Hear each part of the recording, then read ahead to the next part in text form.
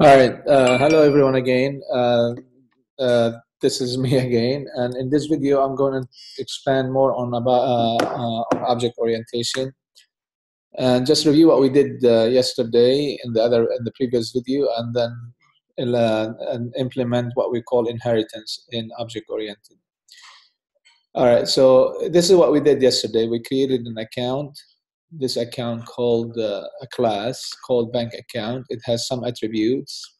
It has a constructor or an initializer. It has an overloaded initializer. Overloaded uh, overloading is a terminology in object oriented means that you can have multiple faces or the polymorphism sometimes it's called.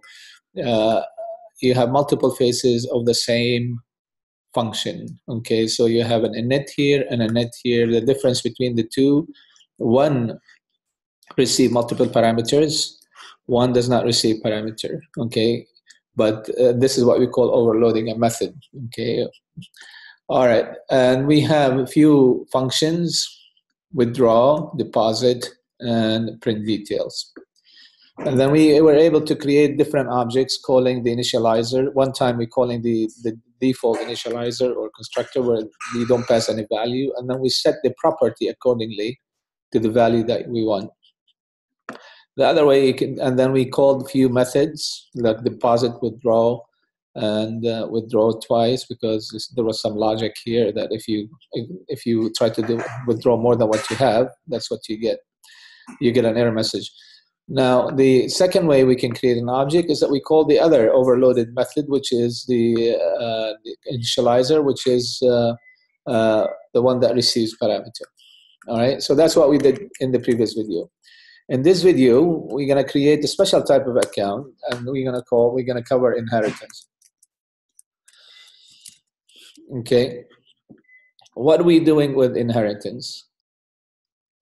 Uh, what we're doing is that we're going to cover, um, we usually, you have like what we call general case and specific case. In this case, we have a bank account, but you could have multiple different type of bank, bank accounts. You can have saving, checking, uh, CD, uh, what do you call it, um, investment account.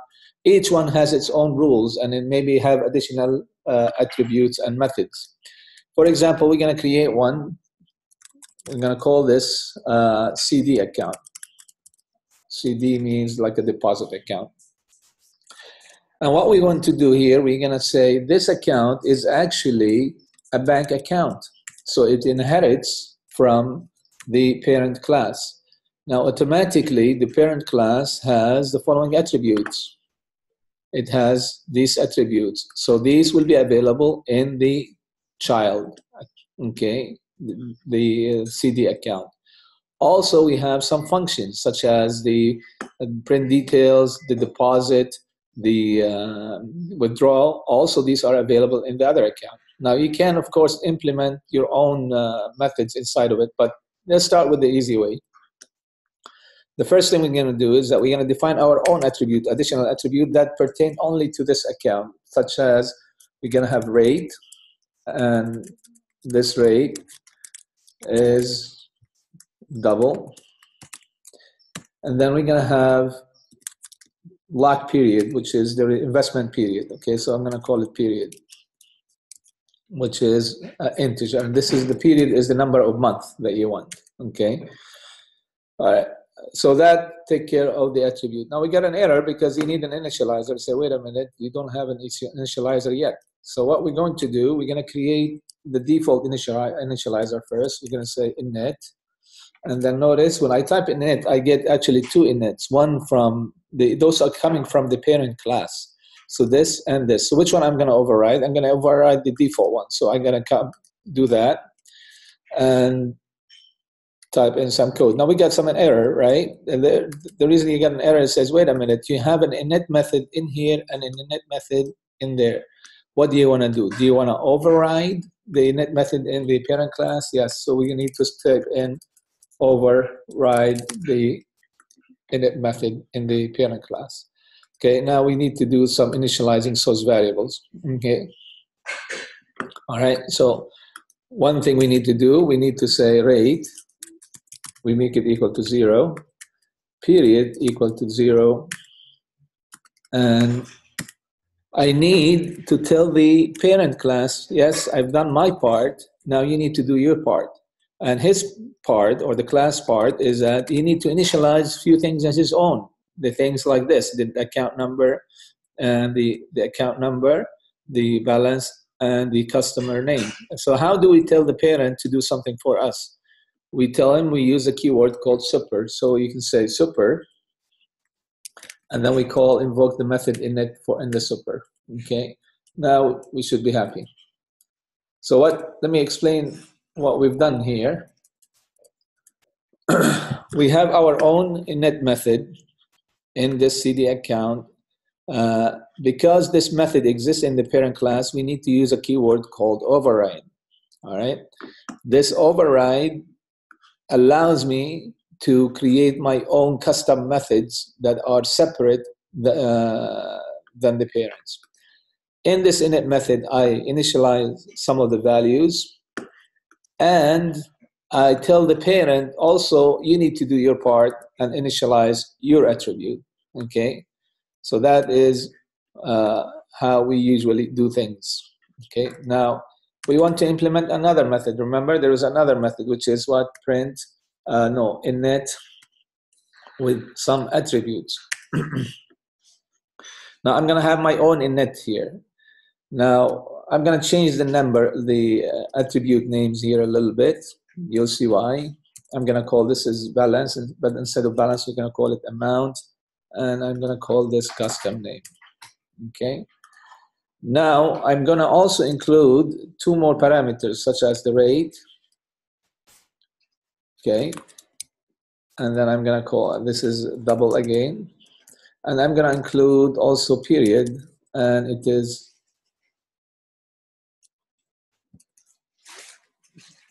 and again. All right.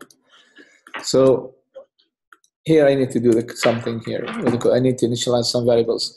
But here notice I'm not using an init I'm not using the keyword override and the reason I'm using the override because this init the signature is different than the init signature in here a signature meaning what it means it has the same names, same number of parameters, and everything. But this one here is different, so I don't need to do that. I don't need to use the uh, override keyword. All right, what do we do in here? We do the same thing that we did there. First, I do rate, self rate equal to the rate that is being passed to us, which is this rate right here. Okay, then you do self again um, a period equal to the period that is being passed to us. All right. Now we need to tell the parent also, I want you to initialize your parameter or your attributes with the values that I've received. So how do we do this? We say super again dot init. Notice I have the second one dot init with the account number. Now I pass to the super class the, the attribute, the, the parameter I received here. So such as the account number, the amount to the balance, and then the customer to the customer name. So here I will, instead of that, I can say account number. And here I can say, instead of that, I can say amount. And here I would say, uh, what do we call that? Cust and cust and, okay? Now it's happy. So what happens, let me explain to you what happens. We get those, when we call this initializer constructor, what you do is that you get these parameters into your method. Then I take some of the parameters belong to this class, such as the rate and the period.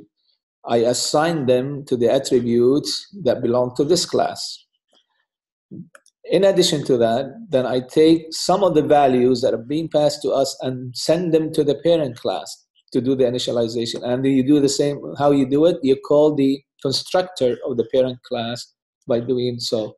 All right? By passing the value to the parent, we, we invoke the super method, uh, the init method in the super class, and we pass the parameter that are being passed to us. Okay? this is a kind of a difficult concept if you're new to object oriented uh, uh, and object oriented way of thinking it is it is kind of difficult to comprehend the first time all right so you might have to review this a few times to get it to get around it the point behind it is that you have a parent class it will it has some things in it and you have a child class in the child class you have attributes that belong to it so these are my uh, attributes that belong to this class. You have some method that you might override from the parent class, meaning what? You override means that you want your own implementation of that method. So in this case, I have my own initializer. Okay, so I initialize the thing that I, belongs to me, and I tell the parent to do the same thing by calling a method that belongs to the parent. Same thing in here. I have an initializer, but this one is different than the one in the parent class because it has different signature, different number of parameters, different names. Okay, so this one no need to override, but I do the same thing. There are things that belong to me and initialize them with the values that I've received, and things that belong to the parents. So I tell the parents to do the same thing for me. One more thing, we have one more method. I'm going to show you. We have the uh, print details. Remember, we have print details that are available in the parent class. If I do this, if I wanted to implement it, notice I have override now.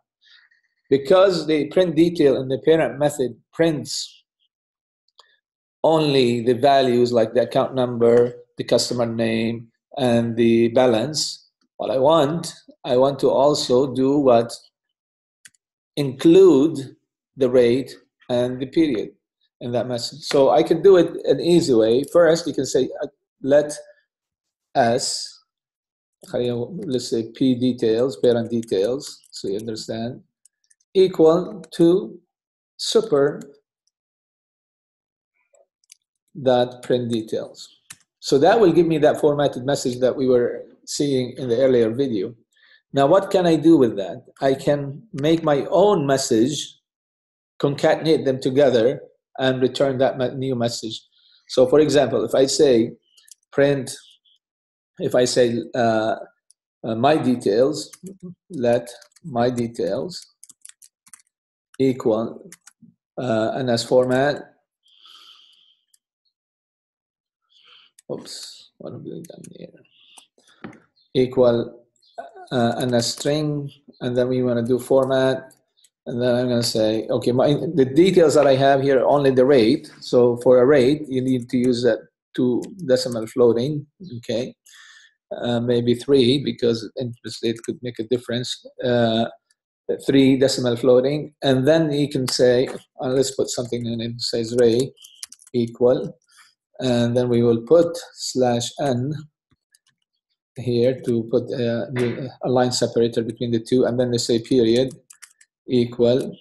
And then we say here, because it's decimal, we use uh, percent %d. Then I pass the two values, which is, what are the two values? Self rate, dot rate, and then self dot period. And then I got two messages now, I, two strings. The first string is from the parent, the second string that I formatted that belongs to me. And then what do I do here? I just say let or return s or p details that comes from the details. Plus, I want to put a, a, a new line separator between them. So uh, they will print on the next line. And then I say plus my details. Okay. So now I got the parent details and I made my own details. I combined them together together and then this is the print details that belong to that bank account or the CD account. All right, we're almost over. Now, how do we use this new class we've just created? We use it the same way you've used the other one. You just create let uh, CD account equal and then here you just say CD account. Notice when I put this, I have two ways to create the account. We're going to use the second way so we don't have to set the attributes. But you could have done it, you could do it this way, CD, and then put the attribute uh, uh, set the attribute manually yourself. But no, we're going to do it this way. 1111 for the account name, double amount, let's say 10,000. name equal hala. And then rate equal uh, 0 0.03 5, let's say. And then here we have the period, uh, the period, let's say 24 months. Okay. So if you type in CD, AC, I created this way. If I type in this, CD is CD, what did I type? CD, capital CD, AC, dot. If I type in this, you'll see that I have all the attributes that belong to the parent class and the I have the period and then the rate, and I have the balance, and I have the customer and the account number. These belong to the parent class, but yet they're available in my class. All right. All right. What else do I do? So if I say, uh, let's say print details, just to show you, uh, print line, uh, CD cdac dot print details. Now we're calling the print details from the parent, uh, the child class. So now if you look at the uh, if you look at the details here, you'll see that you have, in addition to this, you're also getting the rate and the period. All right. So that is a difficult concept to comprehend, but we covered inheritance and how you do inheritance by uh, putting colon and then the class that you want to inherit from. Now you can define your own attributes. You can define your own, implement your own uh, uh, methods. If these methods exist in the parent class, then you have to use the word keyword override here we implemented a new initializer, and this one does not exist in the parent class, so that because it has different parameters, different signatures, then I don't need to do the override. We also have a method in, in, in this one here, you can call the, a parent class, uh, a method, or uh, uh, by simply using the keyword super, and you put the method name that you want to call or the function name that you want to call. You can also have uh, your own print details like we did, which is another method that exists in the parent class, but we, uh, we overloaded or we override that method by implementing our own uh, print details. And to call it, simply you call it the same way you called previous classes, okay? To the to the user or to the programmer, I don't care what happens here. All I know, I have, you know, call this encapsulation. I have only, I have all I want. You want you to create a CD account. What happened in that CD account, I don't care whether it's a parent or a child, whatever it is. All I want is that this is the attribute that I'm going to give you, and then give me some of the functions that are available in that class. That is the end of object oriented uh, inheritance, overloading, overriding, uh, some encapsulations. And uh, if you master these concepts at this level, that's all you need. You don't need more than that, okay, to understand Swift and then write some code in Xcode. Of course, you can elaborate and know more if you want, but for now, I think this is more than enough, okay? All right, in the next video, I'm going to talk about uh, static, we call them static classes or uh, cl uh, static methods or static functions.